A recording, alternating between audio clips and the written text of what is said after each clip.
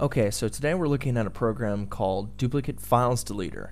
Now this is a great program. It helps you clean up your PC and get away from uh, all those duplicated files. It makes the whole thing run faster. I have a problem a lot with uh, music, so here is, for example, one music file. Now this is Africa by Toto, great song. Um, now I'm going to go to the program, Duplicate Files Deleter. Pull it up here. Alright, so now basically how this works is that you search a location. So I'm going to pull up desktop and start searching through there. Now I'm clicking the button add for scan and you can see this is the items that are going to be scanned just on the desktop here.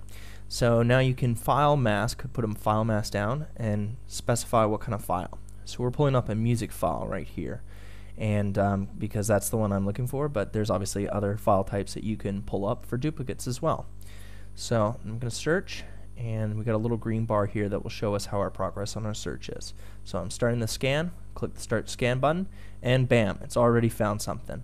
So here it shows you the two duplicate files that were on the desktop, and also another file that was the same thing, but in a subsidiary folder.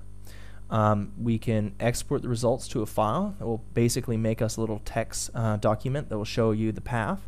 So you can put that wherever. I'm going to put it right here in the music file because that would show me where um, I could find the music if I wanted to delete it.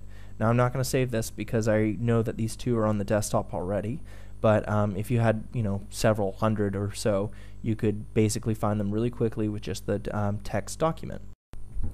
But there are a variety of other options here, so what we're going to do is go through and select the other files, and we're going to show you how to move the files to a folder.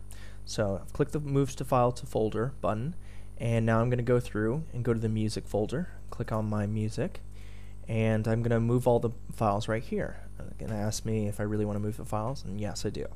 Uh, now to show you that all the files are moved, we're going to quickly scan through them because obviously they're not showing up here on the desktop anymore. So we're going to browse and go to the music folder just to clarify that they're there.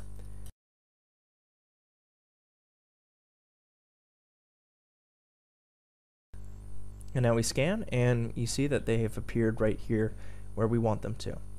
Now what we can do is we can either rename them or delete them. Now I've shown you the other options. So now we're going to delete these two because we don't need the extra files. So select those and they deleted them. Now we're going to rename the last one here.